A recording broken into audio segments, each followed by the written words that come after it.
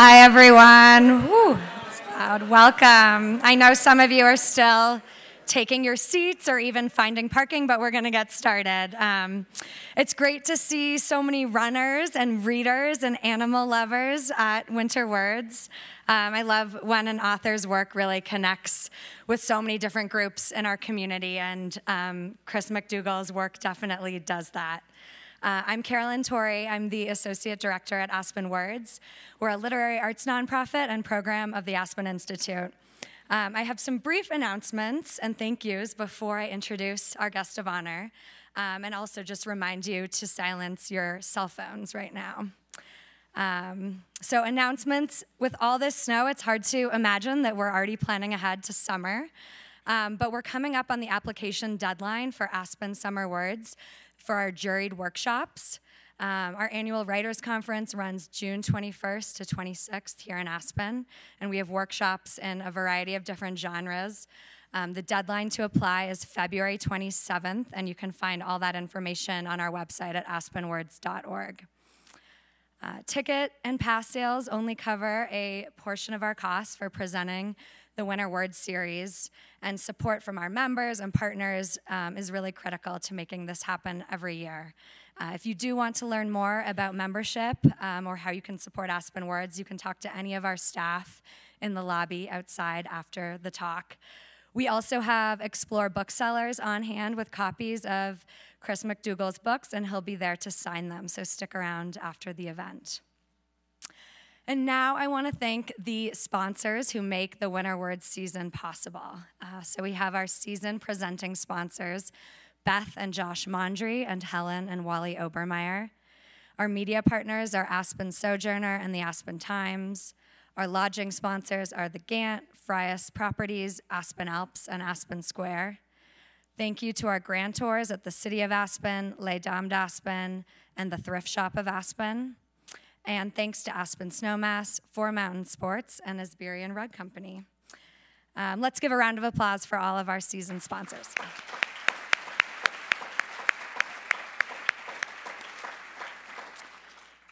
And now it's my honor to introduce tonight's speaker, Christopher McDougall.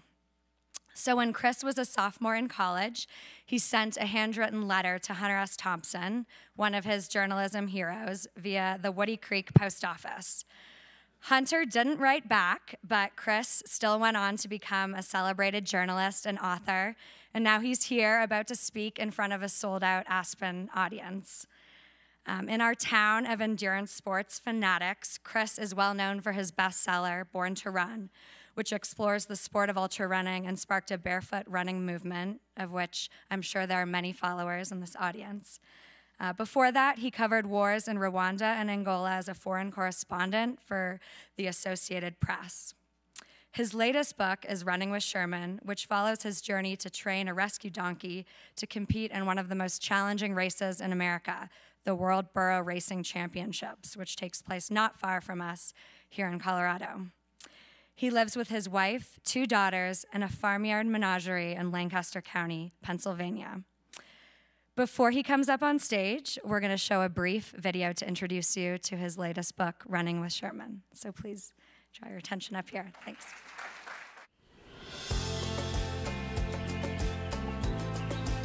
The first time I saw Sherman, he was sick and too lame to walk. A hoarder had him locked in a stall so small he could barely turn around. By the time we got Sherman out of there, his hooves were deformed and his spirit was crushed. I was sure he was done for. But we took him home and did what we could. Our friends and Amish neighbors nursed his body, but they warned us we had to heal his heart. Every creature needs a purpose, some reason to live, they told us. Luckily, we found something better than a purpose, a family. We adopted two more donkeys to join Sherman. And in the process, we discovered something pretty amazing. When Sherman has friends, he's a pretty good runner. That's when we got an idea.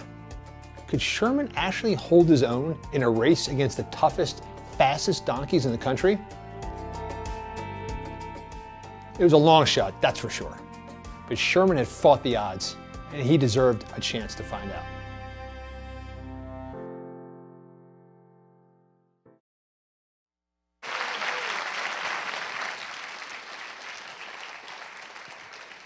Isn't that a cool video? That's actually my cell phone ringing right now. Can you hear that? It's a Donkey Ray ringtone. That's the only cell phone that's allowed to be turned on. hey, I have a question. Um, is Riley here? I need to see a hand from a woman named Riley. She's supposed to be here. Riley, are you here? Okay, okay. Um, if anybody spots Riley when she comes in, I need to know this immediately. The reason why is she's dating a good friend of mine from Philadelphia named Max Potter. And I've been waiting about 15 years to pay Max back. The first time I ever had a book published I was on book tour. Like your publisher doesn't tell. Are you Riley? Is it? Is that Riley? Okay. This entire theater is on red alert for, for Riley. Um, yeah, so my, my first book came out, and you know your publisher doesn't tell you what to do. They just give you your book, and they arrange these events you're going to do in bookstores, and you show up, and you're like staring at lights, and you have a microphone. So you do the same thing everybody else does, which is you talk a little bit, and then you open the book, and you read out of the book, and you talk some more, and you take some questions. And so afterwards, you know, your friends and your family come up and they're patting you on the back and telling you how great you are, except for Max Potter, who's like, dude, you started off pretty good. Then you just bored the shit out of everybody. It's like, what the fuck with reading out of the book, dude? Is this like history class? This is Philadelphia, remember? So you know, I should have seen this coming. And I was like so like shocked and appalled. And then I thought, no, he's, he's kind of got a point. And that was it. Like from that day on, I never, ever, you're not going to see me go anywhere near that podium ever since. That doesn't mean I still got a little bit of a hard feeling for Max Potter. So I got, I got some traps laid for when Riley shows up. Someone's Instagramming her right now saying, Riley, turn around. so the theme of our talk tonight is, is hope, right? H O P E, hope. But for me, you know, hope is actually spelled A D H D. And that really became apparent to me a couple years ago.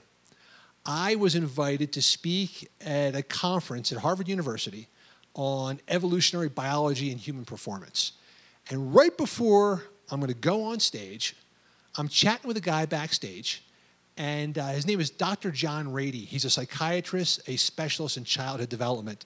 And literally, like seconds before we're going to go on stage, he's like patting me on the back saying, You know, I'm sure school was probably a real challenge for you, you know, of course, with your attention deficiency disorder. I'm like, dude, I'm not ADHD. And he gives me this look like, oh, oh yeah, you are. he goes, I, have watched you come through this door. You're sweating. You almost knocked over the president of Harvard. You didn't excuse yourself. You grabbed a bagel. You met five people. You don't know any of their names. And you've only been here for seven minutes. And again, like just like the Max Potter thing, at first I'm like indignant. And then it was like that sixth sense moment where Bruce Willis goes, Oh my God, you know, suddenly my entire life makes perfect sense. Like everything I'd done until that moment suddenly had like a rhyme and a reason, but in kind of a good way. Like the ADHD had paid off. You know, it, it, really the starting point was when I finished college, I didn't know what to do. I'd been an English major, so I got a job as a high school English teacher, never really processing the fact that a guy who barely made it through school should not like volunteer, voluntarily show up to return to school. I was a really crappy teacher, uh, called in sick a lot, never prepared, never graded tests. And so at the end of that year, I thought I better do a radical turn and find something else. So the cool thing about teaching is, even if you're a shitty teacher, they keep paying you through the summer. So I'm done in June and I'm getting paid through till September. So I just took my money and went to Europe and just started like traveling around, just started backpacking around, bopping around. I got to Madrid and for some reason I kind of liked it. Uh, met a dude in a bar. He was a scene shifter at a theater. He got me a job. So I'm like shoving out scenery and carrying props around. It was great. And I stayed on for one year, two years. I started picking up some half-ass, under-the-table jobs, tutoring people uh, in English, teaching English. It was great, except for one morning. One of my like little freelance English teaching gigs was at a bank, and every morning, me and this older British guy, this guy in his 50s, would show up at the bank at seven o'clock in the morning, and we'd sit down and we'd tutor these bank executives in English for about an hour. And I would make enough in that hour to, to like sustain myself for the rest of the day. You work one hour, you play all day long. It's a great gig. Except I noticed that the guy I was working with, every day he would show up with this like brimming mug of coffee. And the entire time during the hour, he's sipping from his coffee mug, which is unusual because in Spain, most people don't have like the big, like, you know, big gulp of coffee. You go to the bar, you get a little cortado, a little espresso, that's what you have. I said, for this British guy. And after about two or three months, I realized that wasn't coffee in the mug. this dude was like self medicating with like a 16 ounces of brandy at seven o'clock in the morning. And I had this moment of like, holy crap, don't be that dude. Like, don't wake up some morning, you're 55, what's happened to my life? I need to have a half a bottle of brandy to start my day. So um, I was desperate to try and find something else. I asked around, and a friend of a friend was a reporter in Madrid for the Associated Press. So I played that card. I met this guy. I said, hey, dude, is there any way you can get me an interview for a job? Now, at the time, I had less than zero qualifications. I had written like two movie reviews for a college newspaper maybe 10 years earlier at this point. Like, that was it. And maybe because this guy thought it'd be kind of entertaining, he actually gets me an interview. Is this, are you Riley? Is this Riley? No? Okay, let's continue. Is Riley here? Hi, Riley. Where are you? Are you Riley? Oh, hey, Riley. You're friend of Max Potter, Riley? Oh, right on, cool. Let's find a good seat for Riley. Um, did you just get here? I'm actually feeling really bad about this already. You didn't hear my Max Potter story before you came in, did you? Okay. Well, I'll tell you what, I'll keep it real gentle for you. Would you be my timekeeper? Okay. So, Max is a good buddy of mine from Philly, and a lot of years ago, he told me something really rude, but it turned out to be really useful. And so, in the spirit of Max Potter, if I start getting long winded and I go beyond like 30 minutes, we just go like, okay, cool. Riley's here.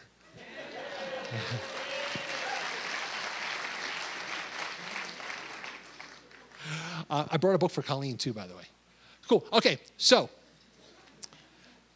so this buddy of mine, Mike, gets me an interview for the Associated Press, and I show up there.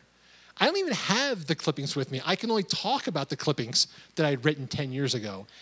The Associated Press is the world's number one news gathering operation. This is a prestige position. And at the top of the pyramid of the Associated Press are the foreign correspondents. It's like I'm walking in this Madrid office, basically applying to be like Secretary of State. No qualifications whatsoever. And I'm across the desk from Susan Linnee, one of the legends of the AP. This is a battle hardened news reporter who's like covered revolutions and like earthquakes and like coups d'etats all over the world. This woman is top of the game and she sniffs out my bullshit in like four seconds. I'm trying to like lie my way into this job, and she's just got the beady look in, in her eye and staring me down. I'm like sweating and lying and squirming. After 20 minutes, she just does the mercy kill. She just stands up and just puts out her hand. She's like, okay, I've heard all I need to hear. That's fine. And I go, good, thank God, let's get this over with. She goes, we'll train you here for a week, and then we're gonna have to get you over there. And I had two thoughts. Number one is, you're hiring me? And number two is, where's there? She'd hired me to be not just a reporter in the Madrid bureau, but to be the head of the Portuguese bureau. So she was head of all Iberia, both Spain and Portugal. I didn't even know this shit walking into the office. She was looking for someone to take over the Portugal bureau, which she supervised. So in a matter of 20 minutes, I got hired for a job I had no qualifications for in a country I'd never been to, speaking a language I didn't speak. But she did. She trained me up for a week, puts me on a train to Lisbon, and off I go to Lisbon. And I get to the Lisbon office, and I walk in, and then my second in command, because now I'm in charge of this office, goes, Thank God you're here. Civil war just broke out in Angola. I'm like, damn.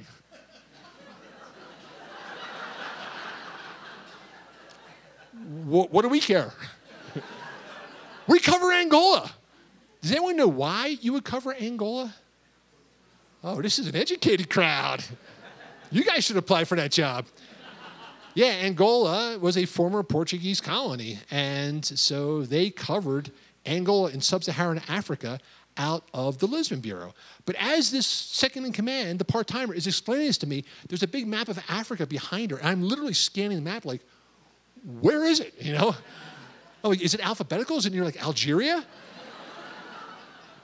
and uh, four days later, I am now on another plane, now heading down to Angola as the Associated Press's new war correspondent in sub Saharan Africa.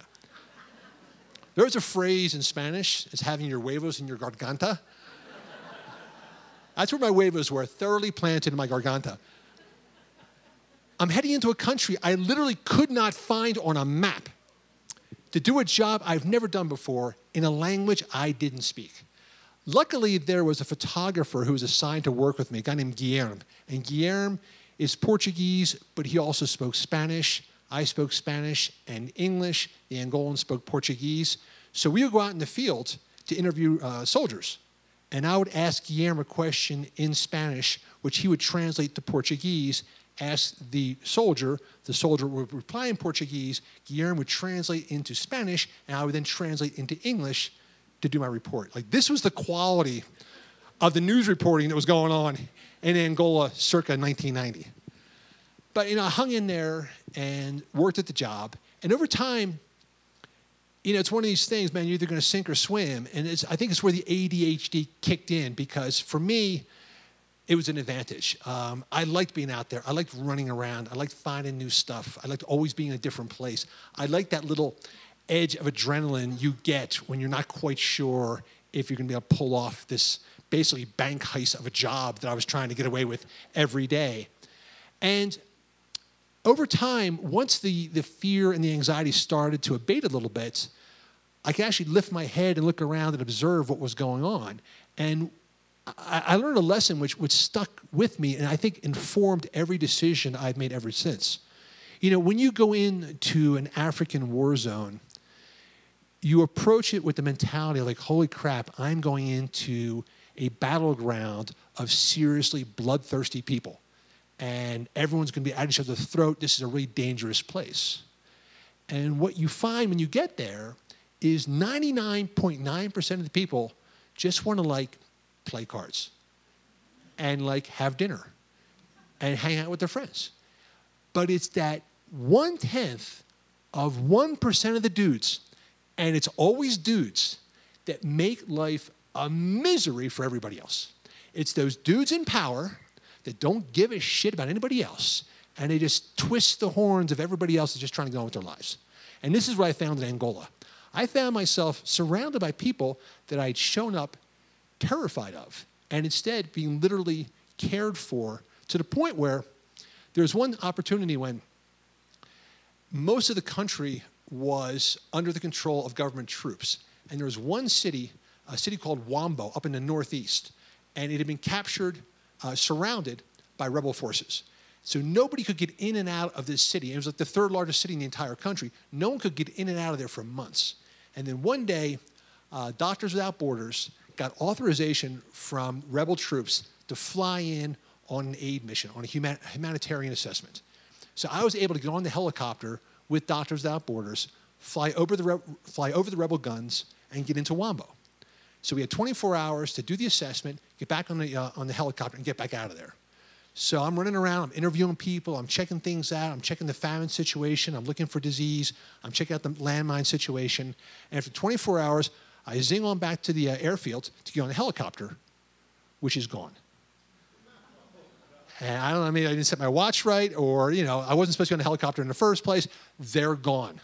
There is no communication out of Huambo. There is no other flight out of Huambo. I am foobarred in Huambo. So I'm standing on the airfield, literally the sun's coming up. I'm standing there looking around like, now what? And some people walk up to me and go, hey, why aren't you on the helicopter? Guy, good question. What are you going to do now? I don't know. Where are you going to stay? I, I don't know.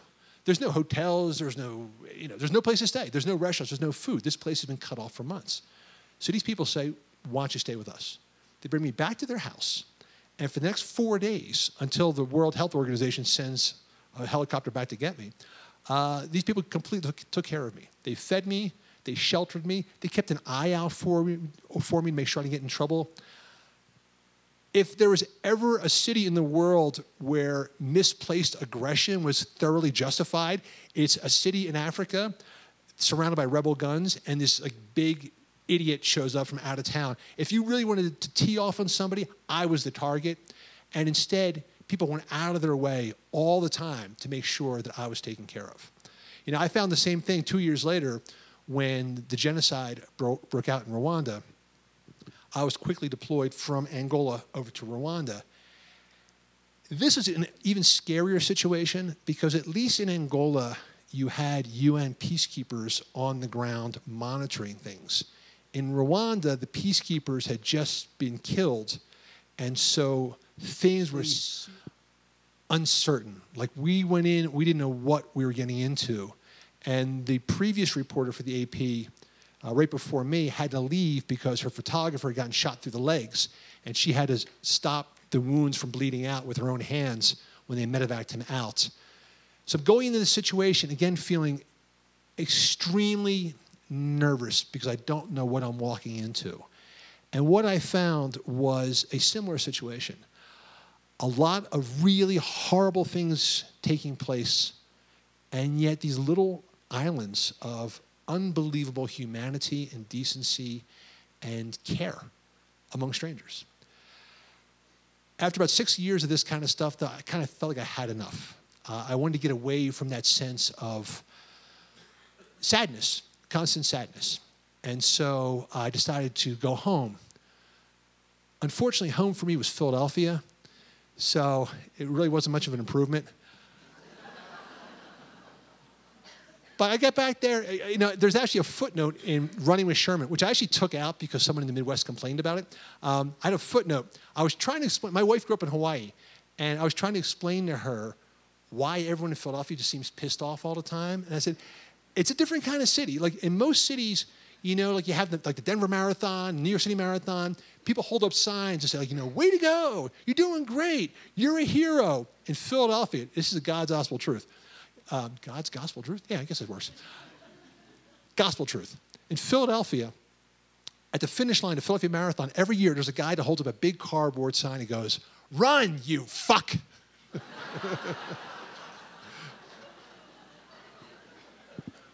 Mallory, I should ask, is there any kind of like PGR rating on the, am I okay? All right. I'm sure Dennis Lehane's a lot worse than this. So that's Philadelphia. So we get to Philadelphia. Um, I, I, meet my wife who's from Hawaii.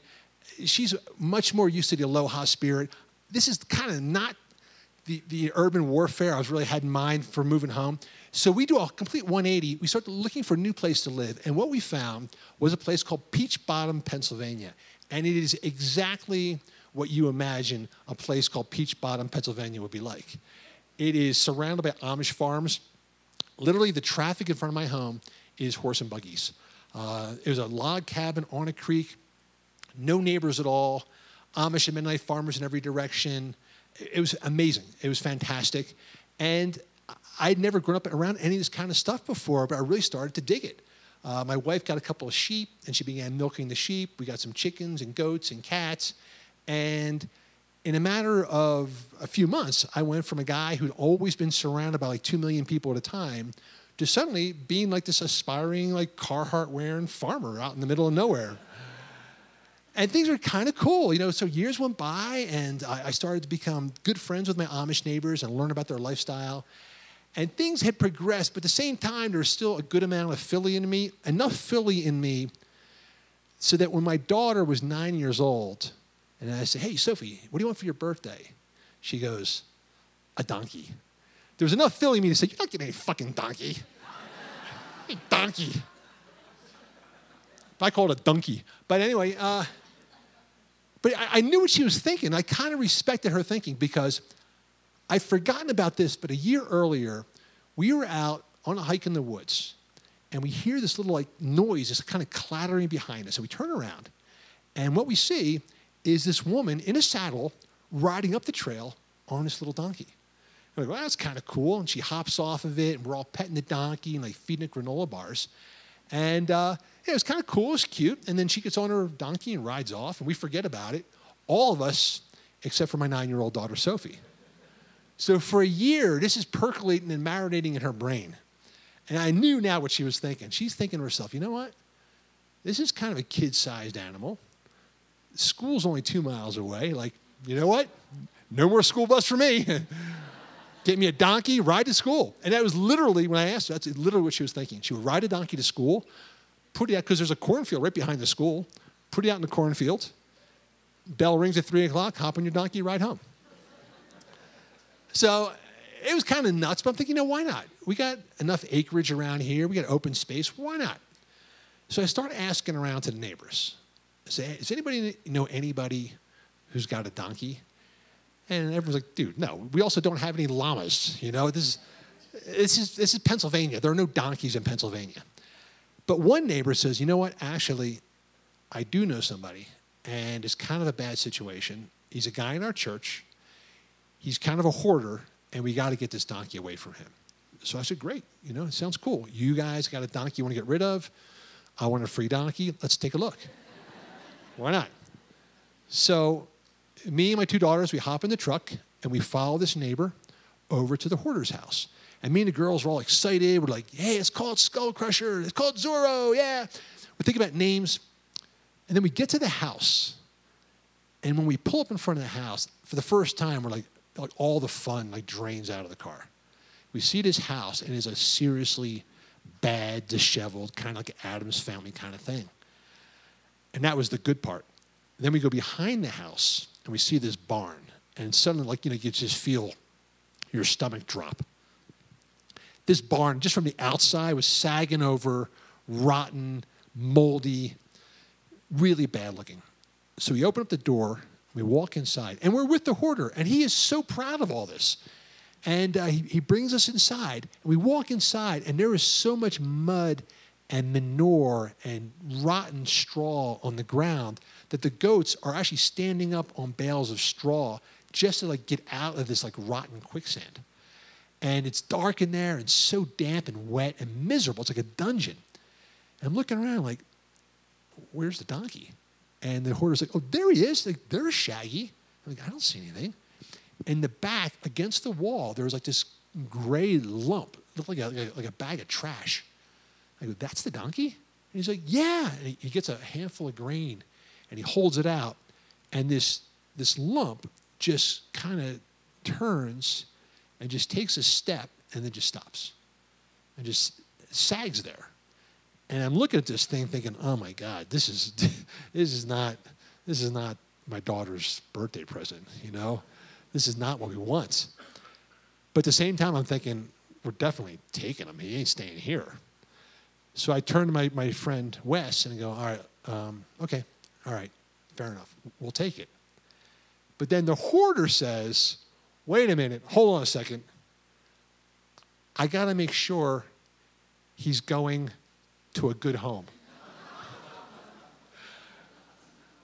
and I just said, hey, Wes, man, you have to sort it out with this guy, but it's not staying here. You got to have it at my house tomorrow, or we're going to come and get it tomorrow. There's no way. I mean, this is, this is criminal. So we leave, we go home, and lo and behold, man, Wes is the most honest, gentle guy in the world. And he pulled off this like feat of international diplomacy that if he doesn't get the Nobel, he should at least get like a cuddle or a hug or something. Wes doesn't lie, right? So he's up against a guy that does not want to let go of this donkey. So what's he going to do?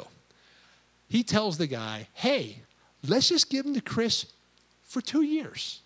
Chris can get him healthy and strong again after two years. My favorite phrase in the world we'll see what happens. That was enough to persuade the hoarder to give us the donkey. So next day, truck pulls up, hay wagon in the back, and there is the donkey. So now, for the first time, I'm actually seeing it by daylight, and it's actually a lot worse than I realized. Um, no one had ever trimmed this donkey's hooves, so its hooves had grown out and curved up so much that it couldn't walk anymore. Uh, it, it, was covered in like matted manure on its, in, on its fur. Its teeth were so bad you could literally reach in its mouth and just pull out a tooth out of its mouth. But, but the worst thing was the look in its eye was just was just dead. It was just gray eyes, you know, no spirit there, no life there at all. And he was just standing there. So Wes and I got him off the wagon, and now he's standing outside in beautiful sunlight. He's surrounded by green grass, and he doesn't make a move. He just stands there like he's dying. And I think maybe he is. And I don't know what to do. So I'm thinking, man, this is the worst ninth birthday of all time. So I need some help. And so I think, oh, you know something? That woman, that woman in the woods, I got to find her. Luckily, in Lancaster County, if you're a woman who rides around the woods on a donkey, everybody knows who you are. so I call around, hey, anybody know? Oh, yeah, you want Tanya. Here's her number. So I call this woman up, and she comes racing over with her husband, Scott. Now, Scott would later turn out to be a bit of a dick. and Tanya would completely agree with me on this. But I'll tell you, man, if he came through this door right now, I would hug him like a long lost brother because what he did next. Tanya and Scott show up and they're looking at this donkey. And Scott is a farrier. He actually trims donkeys' hooves as a hobby, which is kind of a weird hobby, but he does it for fun. And donkeys and horses and, other equines. And so he looks down at these donkeys' hooves and he's like, I don't think there's actually anything we can do. These hooves are so far gone they're beyond trimming. Uh, I, and if we can't trim them, he can't walk. If he can't walk, he can't survive. Uh, donkeys and horses are very prone to colic. They need to move, they need to churn their legs in order to digest their food. If they can't move, then they will literally blow up from the inside out. It's a very painful death, right, Jay? Painful, horrible death. Colic. Jay is an equine veterinarian. By the way, seek this man out afterwards. He has a charity for donkeys. So seek Jay out afterwards. Yeah. So Scott is looking at this donkey and he's like, I, I just don't, I think the only thing to do now, the reason why he's so gray in the eyes right now, he's probably dying in front of us. Uh, it might be better to just make him comfortable and put him down right now. And I'm just like, oh my God, my daughter's gonna come home, the donkey's dead in the yard.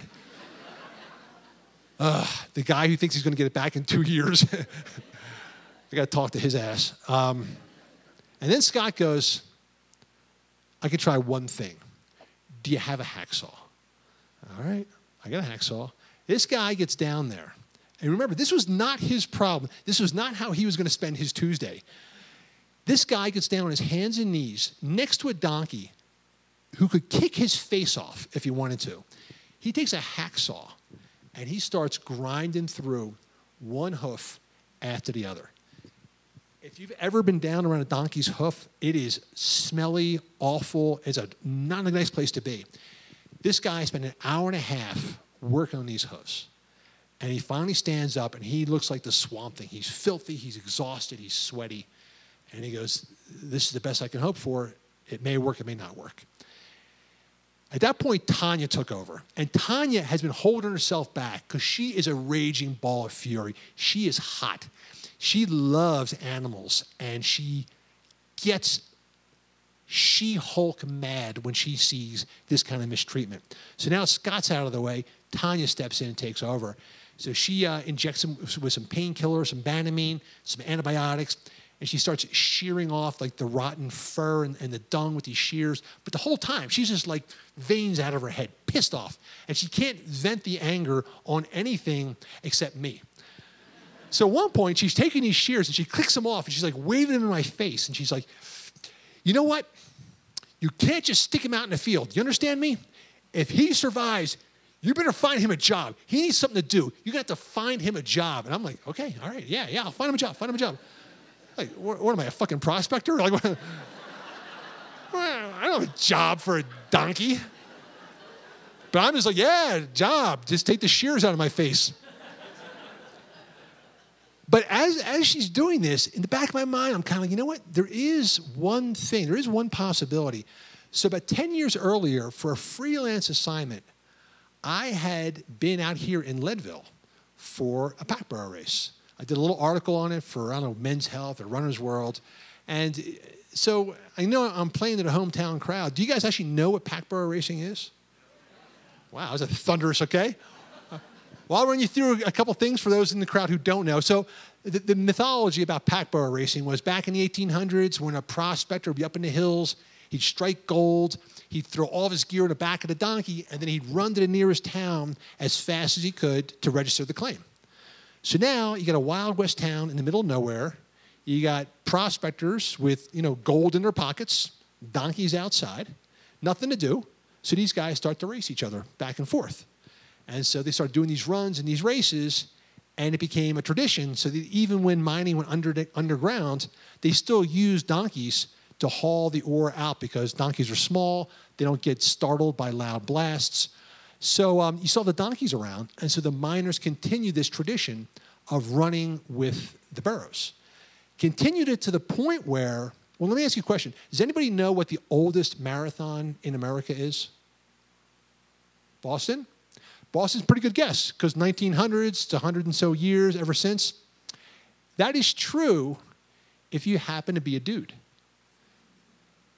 But for the rest of Americans who don't have testicles, you were not allowed to run that race until 1973. So even though the race began in 1902, for the next 71 years, they wouldn't let women run. Except in Leadville, when they started the World Championship Pack race in 1951, even though it was 29 miles at 11,000 feet with donkeys, women were allowed to run from the beginning. So even though there were dudes in Boston afraid that the women would hurt themselves if they ran 26 miles with little orange slices and cups of water, out in Leadville, they didn't give a shit. Like, you want to run with a donkey? Be my guest. Have at it, girls. and what happened was you know, there's this whole thing too where I, I look at a lot in Born to Run. You know, as distances get longer, you see the differences between men and women start to diminish. Not just men and women, but old people and young people as well. So, you know, you, you get in the sprint distances and the mile, things that play to normal male attributes like upper like bulk and testosterone, men do pretty well. But when you get into the activities that humans, the human animal, naturally evolved to do, the endurance and stamina events, what you see is men and women, old and young, tend to perform on a relatively close scale. And what you see is now in pack burro racing, which has now been around for over 70 years, we have got a lot of data to track. And what you find is since women have been involved in this activity since the beginning, there's no learning curve. They know as much about it as the men do. And what you find is in a pack burro race, it's a coin toss whether it's going to be a man or a woman who wins, whether the person is going to be in their 20s or in their 50s. What's really cool about this event is, you know, we tend to glorify the sports that dudes invented for other dudes, you know, football, baseball, you know, hitting things, hitting things. But, you know, compared to other animals, we're not really good at hitting things. You know, gorillas are way better than we are. You know, elephants are way better than we are hitting things. Things involving strength and speed. But when you get to the, the male attributes, the things that the human animal actually excel at, which are adaptability, um, partnership, and stamina, which is exactly what pack burro racing is all about. That's where humans excel, and all humans excel almost equally. So again, I'm, I'm pretty in fire, on fire with this idea. I love the notion of pack burro racing. But now take me back to Peach Bottom, Pennsylvania, with a woman waving shears in my face, threatening me, I better find a, do- a job for this donkey. And even though I love pack burro racing in theory, in practice, it kind of sucks.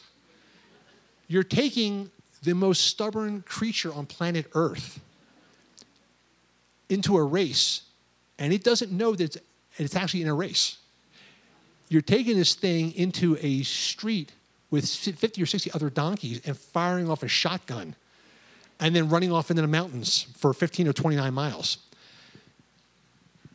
So here I am standing here with this donkey, this idea that I need to give it a purpose, I need to give it a reason to live, I need to give it something that will make it move. Because at this point, even though the hooves have been trimmed, it's been injected with antibiotics, it's still just standing there. It needs something to animate it, something to get it excited about this prospect of moving its legs for the first time in eight years. And I think, you know, one thing I know about myself is that if there's something I don't want to do, at some point I'm just not going to do it. You know, if, if you tell me that I got to stop eating ice cream and I'll live 20 more years. I'll swear to God I'm not going to eat any more ice cream and I'll just I'll do it in two days. I'll be eating. it. With the donkey, I knew that if this job that I was going to give it was a chore, I might feel compassionate and motivated, but after two weeks, I would, I would probably quit. So I needed to find a job for this donkey that was something that I wanted to do as well. And luckily, you know, years earlier, I had that adventure which led to Born to Run. I had a freelance assignment to actually not research running. I was down in Chihuahua, Mexico, to do an article for the New York Times Magazine about a Mexican pop star named Gloria Trevi, who was secretly running her own teenage brainwashing sex cult. True story. And you would think that that would be absorbing enough, right? But while I was down in Chihuahua, I kept seeing pictures of uh, men and women in these long skirts and sandals. And I was reading articles about you know, this, this tribe, the Tarahumara, who were running 200, 300 miles in homemade sandals and winning races in Colorado. And I became kind of ADHD that direction. Like, you know, Mexican pop stars with sex cults come and go, but how often, how often do you have a tribe of barefoot sandal dudes? So I, I began getting involved in that adventure, and that led to Born to Run. But the cool thing about it for me was at the time I heard about the Tarahumara, I was not a runner myself at all. You know, I wasn't quite as bad as, as the donkey was, but I wasn't uh, far off. I was about 50 pounds heavier than I am now. I was a broken down ex runner, didn't want to try it again. I was always getting injured. And it was that adventure which taught me that you know running can be fun, it can be joyful. You can run long distances and not get hurt. It doesn't need to be this like punishment for pizza, this, you know, this, this exercise in misery that we've turned it into. It can actually be a really kind of fun thing that like running can be like, like a kid's recess. I'd had that experience with Born to Run. It had made me a runner. It made me look forward to running every day as like my personal recess. So now I'm faced with this donkey. It needs a job. I know about burro racing, and I realize, you know what? running is what gets me out the door every day. I really enjoy it. It makes me feel good about a lot of things. Maybe the same thing can be true for this donkey. Maybe I can make him my running partner and we can actually jog together every day and run up and down the streets. Yeah, this is how fast my mind. This is ADHD at work, man. And uh, so I say this to Tanya. I say, "This is going to sound crazy. You say a job, right? Um, how about making my running partner? And Tanya's like, all right, if that's what you want to do, that's what you want to do. But I'm going to tell you two things right now. If you're going to try and train a donkey, two things you have to remember. Number one, anything you want a donkey to do, you got to make him think he thought of it first. and number two, anything you start with a donkey, you got to finish. Donkeys are instinctively the most self preserving defensive creatures on earth. That's why they have a reputation for stubbornness. If you try to get them to do something and they don't want to do it, and you give up first, that reinforces the notion in their mind that it was a bad idea to begin with, and now they're never going to do it. so she goes, If you want to start this experiment, we start right now today. So she gets a rope and some horse treats, and she brings this donkey out to the road. And the donkey actually starts to walk, walks across the grass, takes a couple steps. I'm like, it's, it's working. He's moving. This is great. And then he gets as far as the asphalt and he just freezes up and stops and locks down. He's not going to touch this asphalt. And Tanya goes, okay, number two, if you start it, you got to finish it. We got to get him to step on this asphalt. So Tanya takes this rope and she feeds it about 10 feet and she puts it under her butt and then she leans back on that rope, pulling on the donkey. She looks like, like, like, a, like a marlin fisherman or something. She's hauling back on this rope. And the donkey's looking at her like, dude, I'm a donkey. This is what we do, man. You're not pulling me anywhere. This thing just locks down, gets in that donkey squat. Tanya's pulling back, and there's like beads of sweat coming down her face. And I am looking at the world's most stubborn creature and Sherman locked in this tug of war. Tanya sits on that rope, sits on that rope 10 minutes, 20 minutes, a half an hour. She's sitting on this rope, white knuckle on this rope. I could have gone inside had like a grilled cheese sandwich. She's still sitting there. Tractors are coming by, they're like swerving around her. Tanya's not budging. 45 minutes, this donkey puts a foot down on the pavement, and then another one, and then walks out. And Tanya goes, We did it. Okay? Always end on a good note. He did it. She brings him back inside, and then she's like, Okay, from here on in, it's all yours. so, I was kind of intrigued by this point. I'd seen it in action, but I got this glimmer. Like I, when I saw Sherman actually fighting back, that's when the moment I thought, you know what, maybe there's something for alive inside here. You know, if he'd been dead inside, he would have just followed her. But the fact that there was that little glimmer of feistiness, you know, of, of resistance, thought, okay, maybe, maybe, there's an opportunity here. Um, took me about three or four months before we had a breakthrough because we weren't getting much further than down onto the asphalt. Every day I would take him down, I'd pull, he'd resist. And then one day we got a phone call from a neighbor whose son, Zeke, is this terrific kid, handsome as hell, super smart, charismatic, kind, generous, just perfect in every way. he just had a really, really bad incident happen to him, which threatened his life. And he was home from school, from college. And his mom had called to see if he could come and go running with us. Uh, his depression had become so serious that they were exploring everything they possibly could medication and therapy, but exercise. You know, there, there's been a correlation between exercise and alleviating the, the depths of depression. So our friend Andrea called to, hey, listen, Zeke's home. He's struggling with this. Um, can he go running with you? And I said, sure. Did I tell you what kind of running we're doing these days? Is he okay running with a donkey? And she's like, I don't give a shit, whatever. so we ended up getting another donkey and a third donkey. And then my poor wife, who never expected to be impeached by him at all, let alone, she's from Hawaii. She thought she'd be in Pennsylvania for one year. 20 years later, I'm handing her a rope with her donkey. You say, hey, I got one for you too. but this became the story of running with Sherman. Uh, we spent the next year, all of us working together, kind of solving our own problems, my own lack of attention to detail and impatience and you know ADHD. Um, Zeke struggling with with his serious life-threatening problems, and this one donkey Sherman that we are trying to bring back from his isolation in the darkness for eight years to see if we could sort of revive him and give him a new life. And where it left me was, I think, with a profound truth that I don't think I would have gotten by any other means. You know, when you are trying to communicate with a creature that is nonverbal, you, you learn a lesson that I think we forget about all too often in life, which is there are times when you just got to shut up and look and pay attention and just look. And that was the only thing that started to make sense with Sherman. If I ever tried to force him, push him, no dice. If I just slowed down, watched, paid attention and noticed, then you, you would see certain things. And bit by bit, this started to work. And it got to the point where we all started to grow as a group and form together as a team. And by the end of that year, against all odds, there was this moment in early July. We're leading three donkeys into a trailer and heading off for Fairplay to take our chance at the World Championship Pack Burro Race. So it was a crazy ass year. Um, I don't want to leave you in too much suspense. So what I want to do is we did a little home video this summer, so you can actually see how, how Sherman is doing today.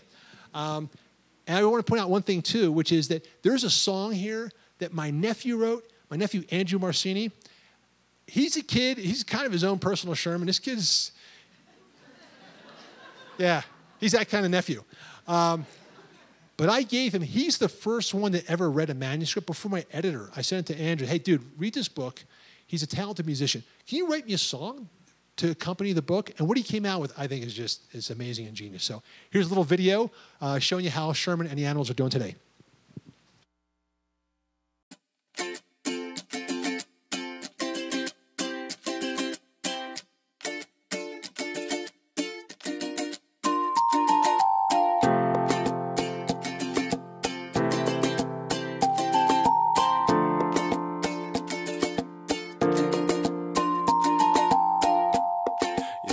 It's one thing, but it's another. I knew your name was trouble. You bring out the rain. But storms like you don't last forever. As I prepare to ride out the weather, you shatter my expectations. I was underestimating the person Good job, Sherman.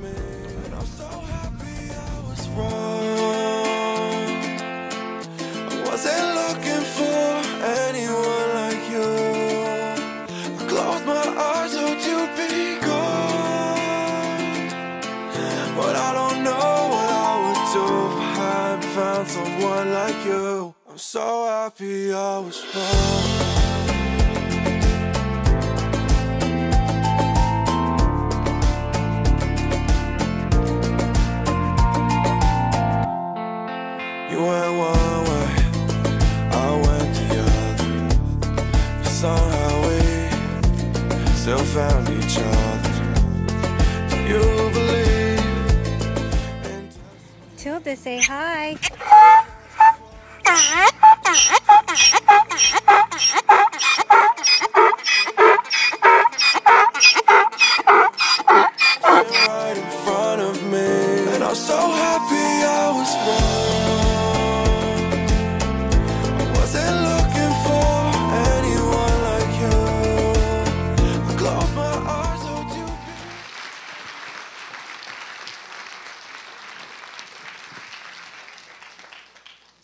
Lot of fun. That was Zeke uh, going across the creek with us.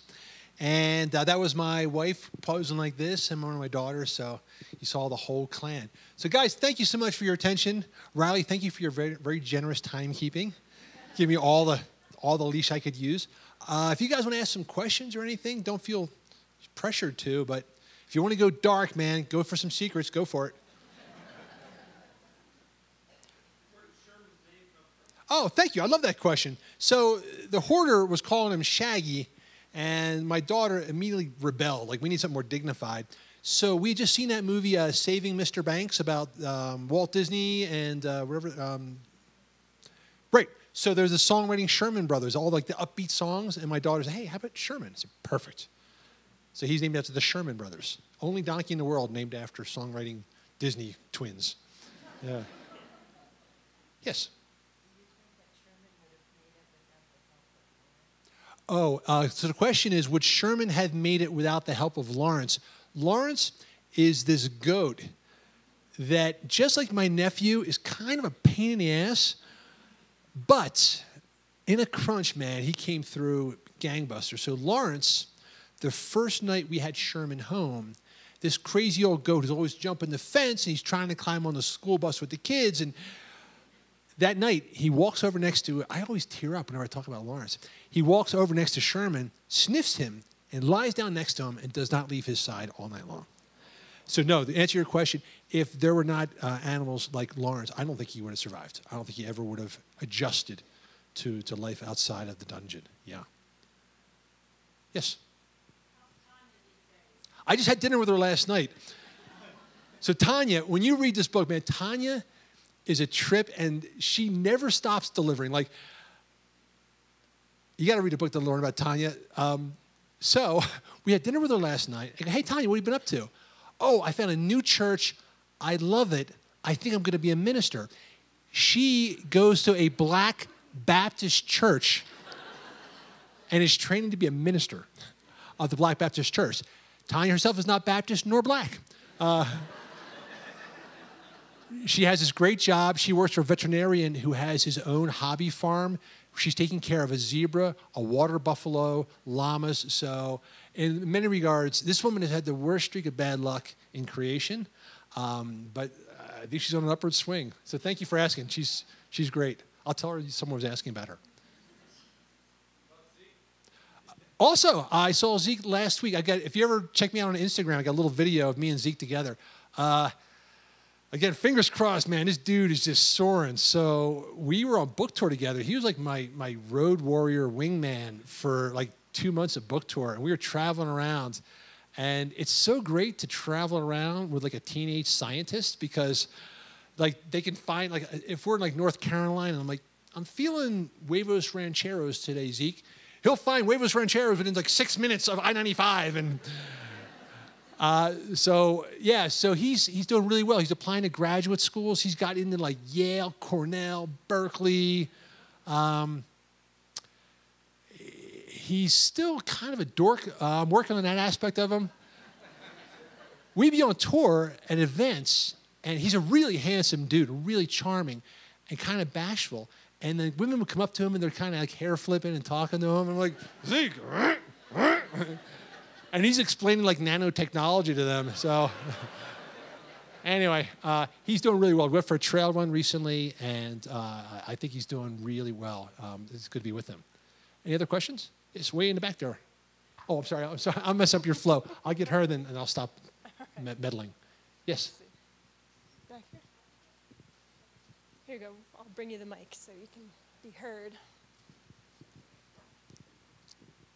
How did a hoarder even get a donkey in the first place? That's a great question. Um, you know, donkeys are normal for you guys, but they serve no purpose in Pennsylvania at all.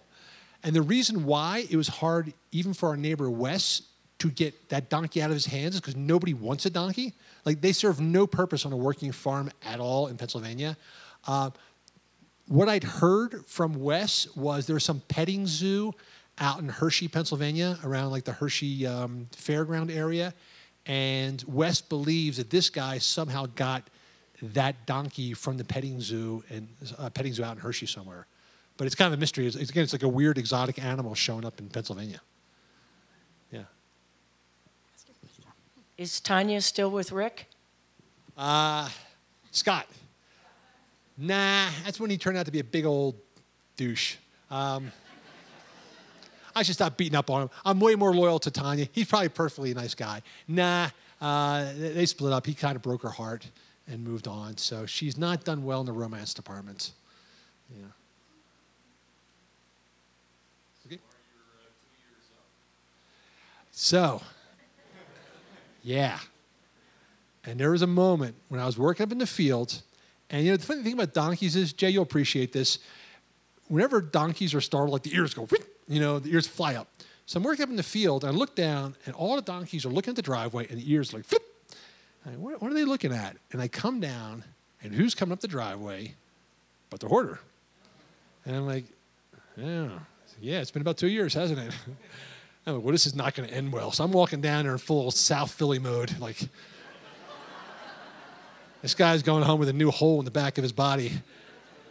And uh, actually, and this is where, you know, it's the problem with mental illness. It's so easy to tee off on people that have a wiring problem. And what you forget is they just don't see what we see. He loved this animal. He thought he was, he was proud of his, his little dungeon of horrors back there. Um, and he basically, basically, he came over to say goodbye. Uh, he had talked to Wes. Wes had told him Donkey's staying with me. But that moment where he came up and then Sherman wasn't going anywhere near him. Sherman kept his distance. I know. Um, but I, I, felt that, that, that pang of understanding, like, oh, he's not a bad guy. He just did not understand what was happening here. So, uh, yeah, he, he is coming on, and, and Sherman's still with us. Yeah. Or maybe like three more. One quick one. Rapid fire. Elimination round, yeah. Will you do the race again? I was about to say hell no. Uh, I don't mind the race. The drive was brutal. 3,500 miles with three donkeys. So they're running. We still run with them all the time, have a lot of fun. I'm not a big fan of racing in general. Always seems like a lot of fuss for the thing you do at home anyway. So maybe not the race, but we'll keep running with them all the time. And you had a question? Okay, cool. Easy. Yeah. Oh, yeah. Uh, so, yeah, a lot. Uh, matter of fact, I just got a text from Jenny Jurek, Scott's wife. Uh, I'm going to see them. Uh, uh, Luis Escobar started the, the Born and Run Ultra Festival in May. So, yeah, I, I feel like I've seen everybody. It's one of those. It's one of those experiences where we all kind of felt like on the edge of I don't know death or tequila at all times. So we really became kind of galvanized. So I, I, hear from Scott quite a bit, and, and I stay in constant touch with his. Do you know? Do you know Scott and Jenny? Yeah, super charming, Jenny. So she's my, my main contact. Yeah. Do you guys mind if we just keep going? People seem, you know, is that right? Okay, yeah. Hi, um, I'm originally from the Asheville, North Carolina area, and I've spent time with Will Harlan. Yeah. And wondered when's the last time you and Will have hung out. I was just in Asheville, and I thought I was going to see him there. I was there in like October, um, but I, I didn't see him there. So last time I saw him was last time I was on book tour. So uh, yeah, he's a great dude, and Asheville's super cool. Um, but I haven't seen him in a couple years now. Yeah, but great dude though. Are you guys like running buddies? Docu- documentary filmmaker in Asheville, Rod Murphy, was um, doing the film about Will running in Yeah. the Copper Canyon. Yeah. I did some of the El, El Chivo, yeah. great right. film. Yeah, So I did some of the Steadicam filming of Will that's in that film. yeah. If you can see this documentary called El Chivo, it's about a guy from Asheville who had a Born to Run experience himself. Will's a super cool dude. It's a great film. I really like that film. Yes, Jay.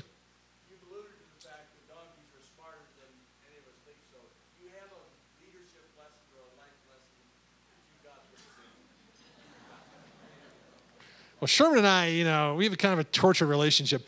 Uh, once Sherman like got his independence back, he, he I feel like eight years of captivity, like he's now getting it all out. So, like one day, I hear car horns honking down the road. I'm like, what's going on? I look outside. Holy shit! All of our animals are out in the road, and luckily, there's almost we get like two cars a day, and one of the cars out there is honking the horn. Like we get like 26 there's sheep and goats and donkeys in the road. Like what's going on? So I get out. We herd them all back, and, and I put the chain on the gate. And I go inside, and I look outside, and they're all back out again. I'm like, what the shit?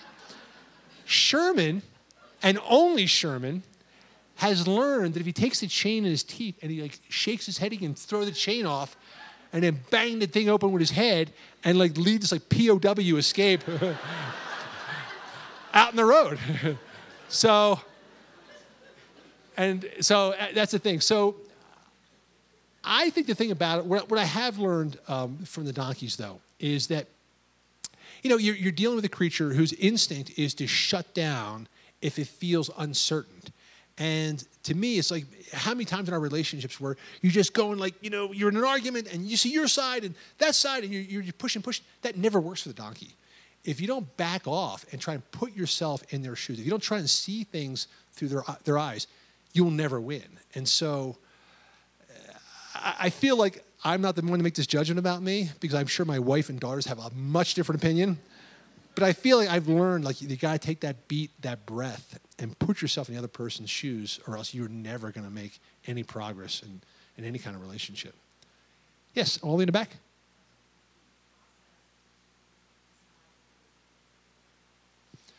Um, you know what? It's funny, and I really like the question because usually I sort of see the thing coming, like, oh, okay, you know, this could probably be a good book or a good story or something come out of it.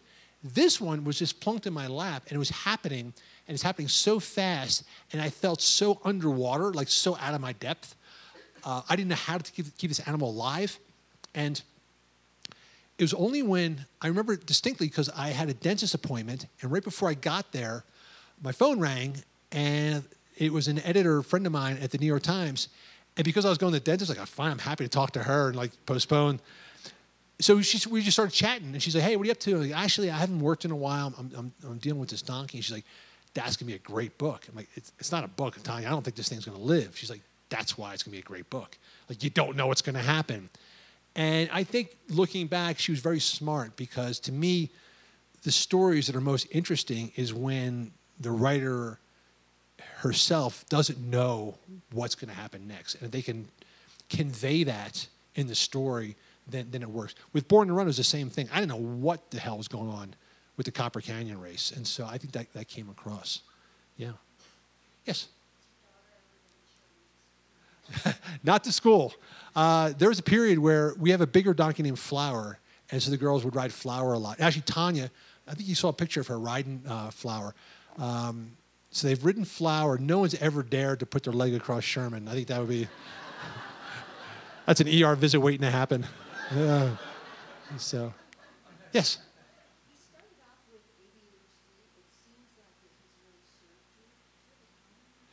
Yeah, so the question is whether ADHD is like my, my latent superpower. Um, it's something I like to like sort of joke about. Um, because it has turned out well for me. And I, have never actually been officially diagnosed other than being like sandbagged like five minutes before going on stage. Um, and so I, I don't want to be too lighthearted about it, but I've got a really good friend who's a stand-up comic, Liz Miele, and she is acutely dyslexic.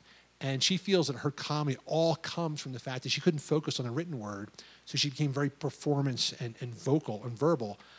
Um, so something I, I, wrestle with. I feel like there is this kind of like channeling and compartmentalizing of people who behave differently are medicated or disciplined or you know shunned and you know maybe, maybe you know and there's a lot in running with sherman um, there's been tremendously strange results of children with autism and epilepsy working with donkeys and seeing tremendous benefits from that so with my case, I think that I was lucky in that my inability to stand still and focus, I was able to, to find a job that let me do that.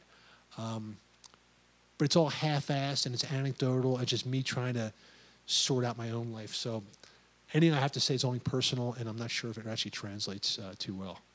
That was a shitty answer. Sorry about that. yeah. Do we have time for more? Okay. Oh, right on. Oh, uh, yeah. So I'm actually working on a new book now. Um, it's called King of the Weekend Warriors. And what I'm looking at is I, I want to challenge this whole notion of competition. Uh, I, I, there's these two guys I know, good buddies. One is like super alpha dog, intense, and the other guy's Mr. Zen, Mr. Chill, and they're best buddies. And they, they have set nine different world records. And basically, what I'm, I'm curious about is whether competition is more harmful than helpful at the same time, we need that sort of goal to strive for. So uh, hopefully it sounds, it reads better than it sounds right now. All right. We should probably wrap it up. So cool. I'll be outside, guys. Want to ask some more questions? Thanks a lot. Thank you.